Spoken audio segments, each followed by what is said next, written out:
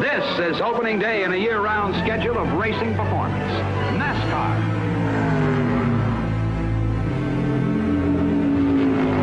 High-performance stock cars that will know speeds of 140 miles an hour. He's going to win it spinning. No, he did not make it. Here comes Pearson. Pearson is going to try to make it across the finish line. This is the Daytona 500, isn't it? Don't tell me it isn't. 20 years of frustration. Dale Earnhardt. The greatest time I've ever had in Victory Lane right here. Sure they come. Checkered flag. Harvick.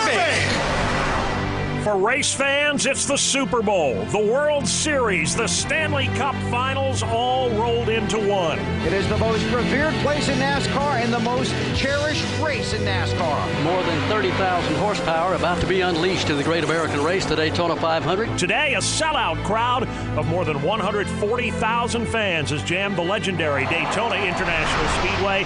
43 of America's best drivers have waited all winter to drop the green flag on the Great American Race. Gentlemen, start your engine! It's incredible out here. This is the first time I've been to Daytona, so it's special. Wow.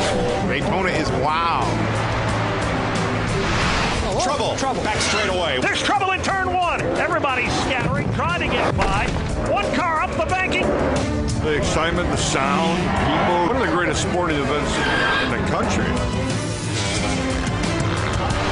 Side by side, a lot of excitement, a lot of drafting, a lot of hustling. They're four wide. Everything that's new about our sport is brought to the maximum potential at this race. I think it's probably the biggest spectacle that we go to. Oh my gosh, I can't believe the energy here. Presidents that's ever been in the United States, this is the first one that's ever showed up at a racetrack. President of the United States, George W. Bush. Is this place cool or what? This is so sick!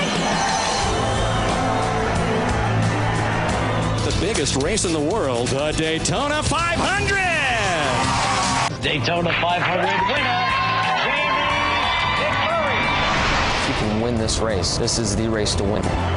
This is what you work your whole life to get to is Daytona. The most prestigious, important racetrack or race that there is on the circuit just keeps getting bigger.